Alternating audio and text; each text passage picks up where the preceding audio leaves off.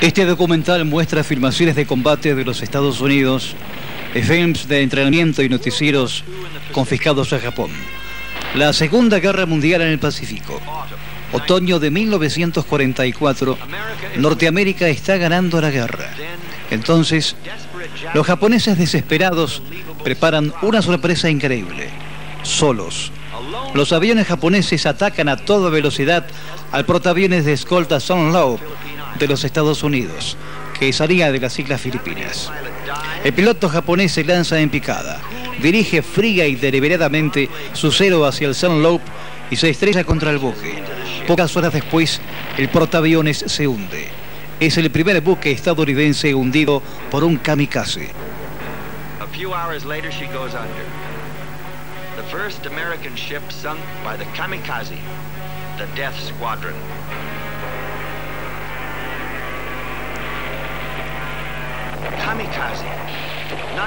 El escuadrón de la muerte, kamikaze. No solo uno o dos, sino miles de pilotos japoneses suicidas que caerán del cielo como pimpollos de cerezo, pimpollos de muerte.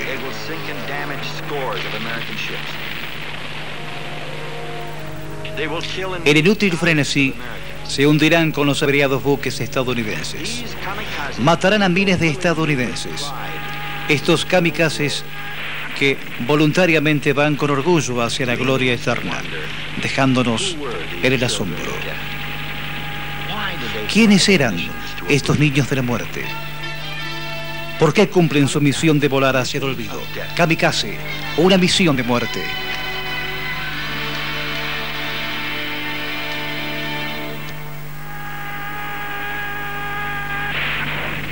kamikaze la palabra significa viento divino en japonés. Hace siete siglos, cuando el legendario conquistador Kublai Khan tuvo que dirigir sus tropas de mongoles para invadir la isla, patria del Japón, un furioso tifón diseminó e hizo retroceder a la flota invasora. El viento vino, el kamikaze.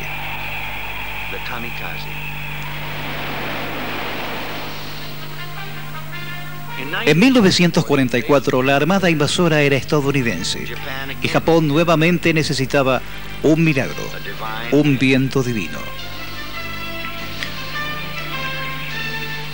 La plana mayor japonesa tuvo que enfrentar el hecho de que Japón estaba perdiendo la guerra. ¿Qué podían hacer para resistir la marea de la derrota? Sabían que podían recurrir a la tradición japonesa del sacrificio personal. Por lo tanto, autorizaron el suicidio de los jóvenes más capacitados, considerando tal suicidio como un arma. En el campo de batalla, el vicealmirante Takishiro Onishi, fanático militarista, trazó el plan del 19 de octubre de 1944.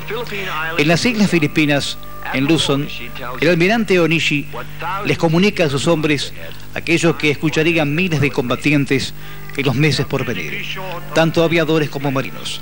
La falta de pilotos y de aviones es crítica. Los ataques aéreos convencionales no son suficientes. Cada uno de nuestros aviones debe ser blanco en un portaaviones estadounidense. Esto solo es posible si nos lanzamos en picada sobre el blanco. Ustedes ya son dioses, sin deseos mundanos. Pero hay una sola cosa que deben saber.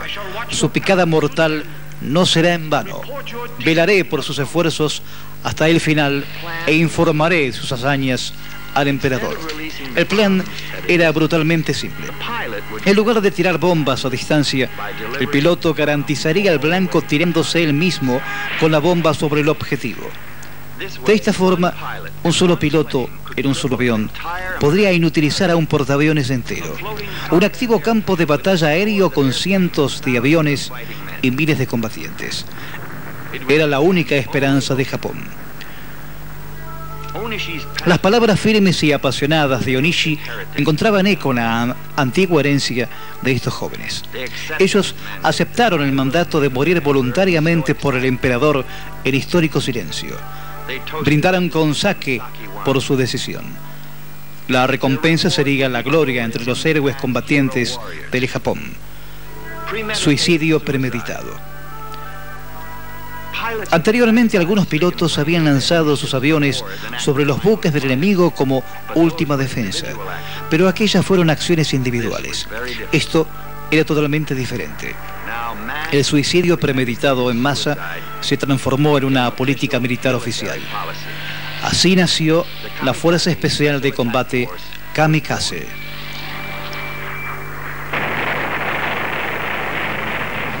Los kamikazes voluntarios creían que solo el hecho de sacrificar sus vidas cambiaría el terrible destino. Se les dijo una y otra vez que si los estadounidenses conquistaban Japón, sus mujeres serían violadas, su emperador humillado, su nación destruida. Repetían gritos el lema patriótico que significa Japón vivirá por 100 siglos, Banzai.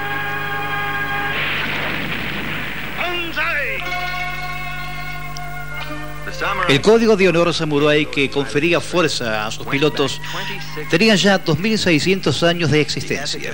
La ética de los combatientes samuráis japoneses se intensificó sin debilitar la lealtad y obediencia al emperador. Los kamikazes se veían a sí mismos como los nuevos samuráis. En estas horas desesperadas, los pilotos kamikazes se amparan en su tradición de muerte por el honor y si interiormente temían la muerte, no admitían tal herejía. Antes de partir hacia la muerte, muchos escribían una última carta a sus seres queridos. Entre las extraordinarias cartas que aún se conservan, hay algunas realmente llenas de esperanza epitafios poéticos. Tomaharu Saito, egresado universitario, escribió, Terminaré mi historia a los 21 años. Dedico estas palabras a mi padre. Cabalgo los cielos. Soy el escudo del emperador mientras cabalgo. Saito se sacrificó en la costa de Okinawa el 4 de marzo de 1945. Masillo Uimara le escribía a su hija Motoko de 4 años. Querida Moko, Crece para ser una joven grande y saludable. Papá atacará al enemigo. Cuando crezcas, lo entenderás. Unmira se estrelló y murió en las Filipinas en octubre de 1944. Takio Kobayashi, un alegre graduado universitario, pintó orgullosamente la bandera japonesa con su propia sangre y la dejó como recuerdo de su partida. Kobayashi hizo su picada mortal en la campaña de las Filipinas. Masafumi Ayura había recibido como regalo de una niña una muñeca. En la víspera de su misión envió la muñeca a la niña con esta nota. Querida muñeca, gracias por venir desde tan lejos para alertarme.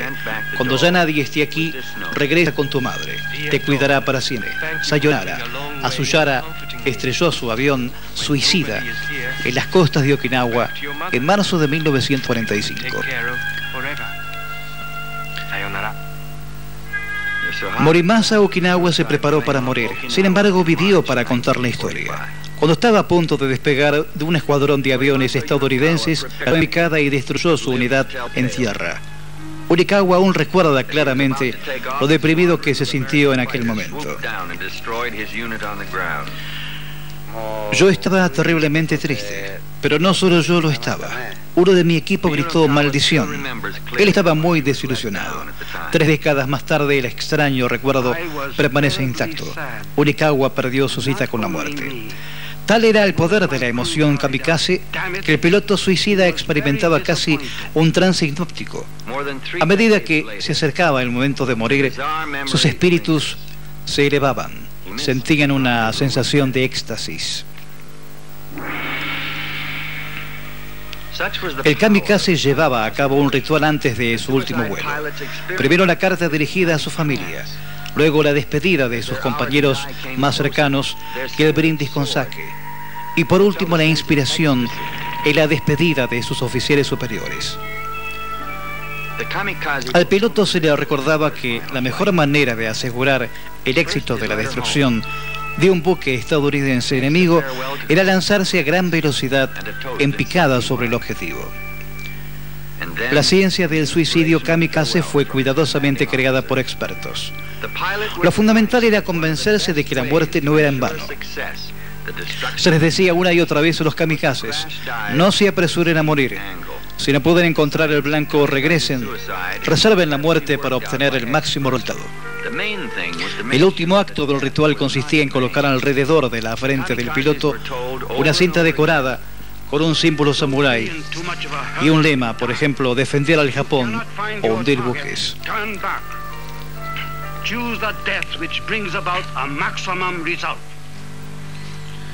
Entonces llegaba la orden de despegar y de encontrar la gloria.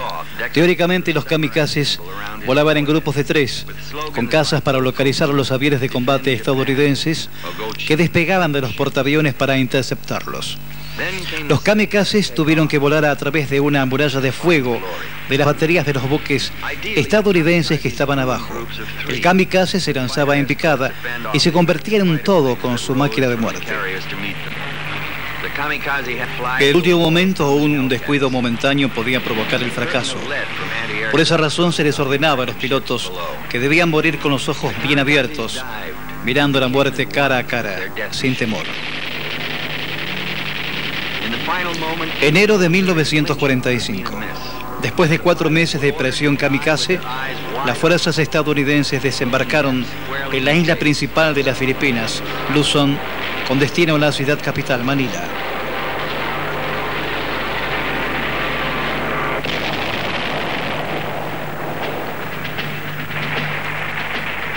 Pero los kamikazes habían puesto un precio muy alto a la victoria. Más de 100 buques estadounidenses hundidos o averiados, dos portaaviones escolta enviados al fondo del mar, nueve enormes portaaviones y cinco acorazados averiados. Alrededor de 4.000 estadounidenses heridos o muertos por ataques suicidas concentrados. Japón había perdido más de 4.000 pilotos kamikaze y aviones, así como también más de 100 escoltas. Los resultados dan una esperanza a los líderes japoneses más fanáticamente militaristas. La esperanza de que detendrían momentáneamente a las fuerzas estadounidenses y que salvarían lo que quedaba del dominio japonés. Entonces, hubo más convocatorias y más kamikazes, aun cuando muchos sabían que era una causa perdida, aun cuando ya habían muerto los mejores pilotos japoneses. La Fuerza Aérea Japonesa quedó reducida a volar unos aviones empalchados. El kamikaze se había originado como un servicio voluntario. En aquel momento los oficiales obligaban a los pilotos a morir porque ya no había suficientes voluntarios.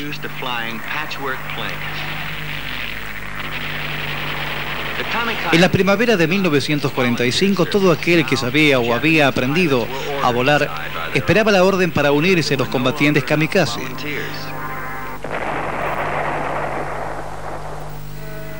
Mientras la radio y la prensa comunicaba que los estadounidenses estaban en retirada, se entrenaba a los kamikazes aislados, como locos fanáticos que volaban como dementes. La realidad era completamente diferente. Los pilotos kamikaze eran en su mayoría adolescentes. Se los instruía para seguir un estricto código de disciplina que entrañaba su propia muerte. A muchos de ellos se los envió al combate directamente desde el aula, como Nubi o Kinasi.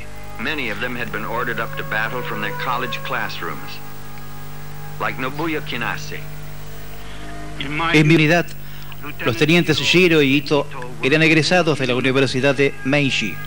Shiro era el campeón de salto en ski. El teniente Okabe estaba en el equipo japonés residente que se había formado en la universidad. El teniente Kinashi asistió a la Universidad de Keio y vivió para hablar de sus amigos. Aún llora por sus compañeros fallecidos. Yo sobreviví cuando murieron todos los otros ocho miembros. Fui transferido para formar otra unidad, pero queda solo un sobreviviente, que soy yo. Es muy doloroso ser el único sobreviviente.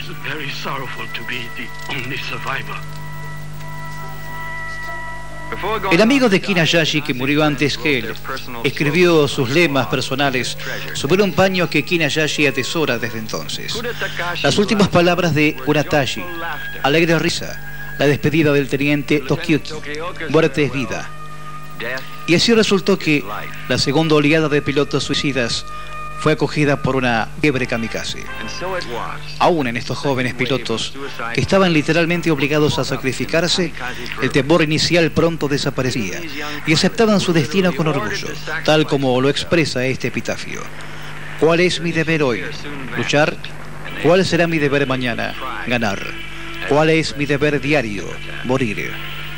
No había tiempo para entrenar adecuadamente a los nuevos pilotos. Los aviones que ellos volaban a menudo estaban en malas condiciones. Y los estadounidenses habían aprendido a defenderse mejor de ellos. Hacia la primavera, más y más kamikazes eran derribados en vuelo, pero aparecían como la pléyada de Marte, guiados por la luz de la gloria eterna. Aparecían, caían en picada, y otros los sucedían. Los noticiarios japoneses realmente celebraban el ideal kamikaze. La idea de la victoria mediante la muerte deliberada ya no alcanzaba únicamente a los aviadores. En abril de 1945, mientras las tropas estadounidenses desembarcaban en la costa de Okinawa, en umbral de Japón, la Marina japonesa tomó el concepto kamikaze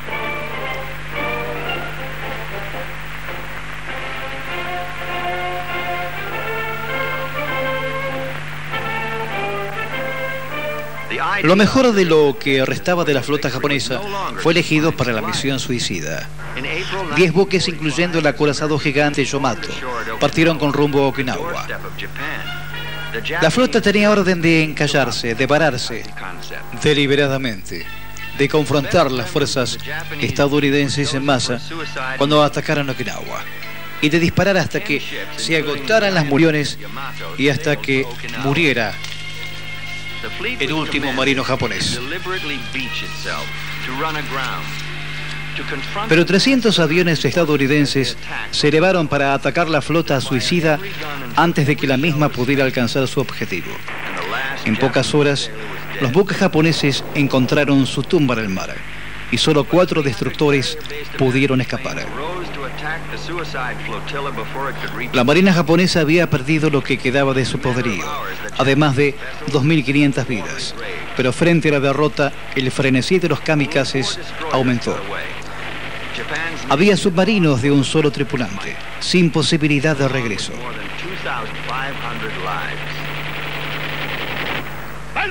En tierra, los soldados japoneses lanzaban sus cuerpos contra las armas estadounidenses en fútiles cargas Banzai, como lo hicieron durante toda la guerra. Y el más desesperado recurso, la diabólica bomba vaca, un cohete militar en un torpedo aéreo que se lanzaba desde un avión nodriza. La bomba era guiada por su piloto hasta alcanzar el objetivo. Los japoneses denominaron el arma Oka, que significa capullo de cerezo.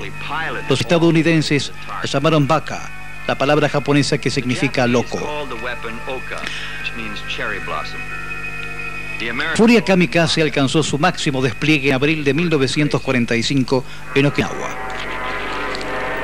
Era el último esfuerzo japonés para contener una invasión enemiga a Japón. A los estadounidenses se les informaba que los kamikazes eran un arma ineficiente. La realidad era otra. En la costa de Okinawa, los portaaviones Bunker Hill, Intrepid, Bangkok y Enterprise fueron averiados. Solo el 6 de abril, alrededor de 200 kamikazes atacaron.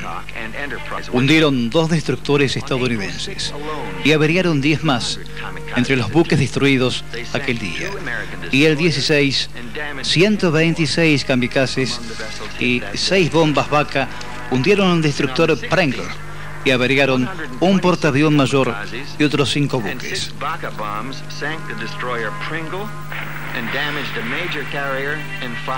Desde el comienzo hasta el fin de los kamikazes, la Marina estadounidense registró el mayor número de bajas en su historia. 34 buques fueron hundidos. Alrededor de 300 buques resultaron seriamente averiados. Muchos quedaron inutilizados. Más de 10.000 marinos estadounidenses fueron heridos o muertos. Muchos de los muertos fueron arrojados al mar. A Japón le costó más de 25.000 pilotos y aviones, sin embargo no pudieron cambiar el curso de la guerra. Pero toda la destrucción que provocaron los kamikazes no detuvo a los estadounidenses que bombardearon las principales ciudades. Los marinos y los soldados estadounidenses hicieron salir a los soldados japoneses de las cuevas de Okinawa. Los comandantes aliados exigieron la rendición incondicional de Japón. Los líderes japoneses se resistieron. Creían que la continua resistencia les permitiría obtener mejores condiciones que la rendición incondicional. La locura kamikaze se extendió a toda la esfera militar y aún a la población civil. Tanto los civiles como los soldados eligieron la muerte a la rendición. Aunque Tokio había sido devastado por los bombardeos, los comandantes estadounidenses tuvieron que enfrentar la lamentable realidad de que una invasión costaría la vida de un millón de hombres. Parecía que la guerra continuaría para siempre contra un enemigo suicida. The American command was faced with the grim reality that an American invasion could cost the lives of a million American men. It seemed the war could go on forever against the suicidal enemy. Se presentó esta conclusión al presidente Harry Truman y él consideró la terrible decisión. ¿Debería o no desencadenar el horror de la bomba atómica? Agosto de 1945, Hiroshima, 70.000 muertos. Tres días más tarde, Nagasaki, 40.000 muertos.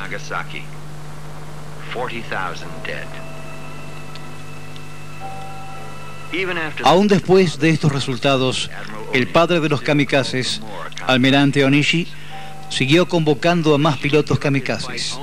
Onishi cesaría su lucha solo después que el emperador Hirohito anunciara personalmente que Japón se rendiría.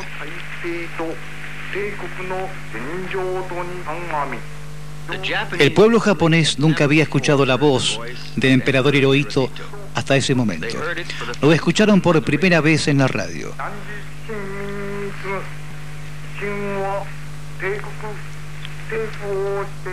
Era su Dios que se dignaba a hablar con ellos.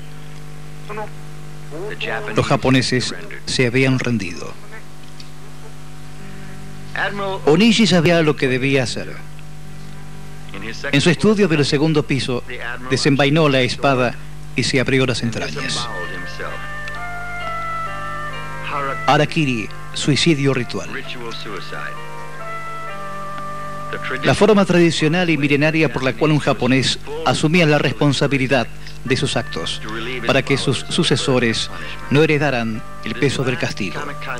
Este último kamikaze agonizó durante 12 horas, rehusándose a recibir ayuda y aceptando el dolor y sufriéndolo como pena por su fracaso. En su última nota escribió, deseo expresar mi profundo reconocimiento por las almas de los bravos combatientes especiales y disculparme por las almas de los pilotos muertos y sus familias. Deseo que los jóvenes del Japón encuentren en el luto de mi muerte todo el espíritu fervoroso de los combatientes especiales que procuraron el bienestar del Japón y la paz del mundo. Onishi murió a las 18 horas del 15 de agosto de 1945.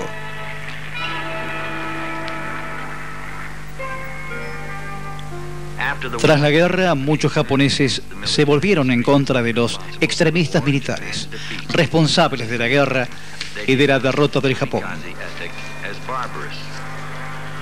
Al mismo tiempo denunciaron la ética kamikaze como bárbara, pero hoy en día recuerda a los pilotos kamikaze como héroes, hombres jóvenes que murieron voluntariamente por Japón, kamikazes jóvenes, muchachos con un símbolo samurái alrededor de sus frentes. Brindan por la despedida, miran la muerte cara a cara, sin temor, y mueren por un imperio que ya estaba perdido.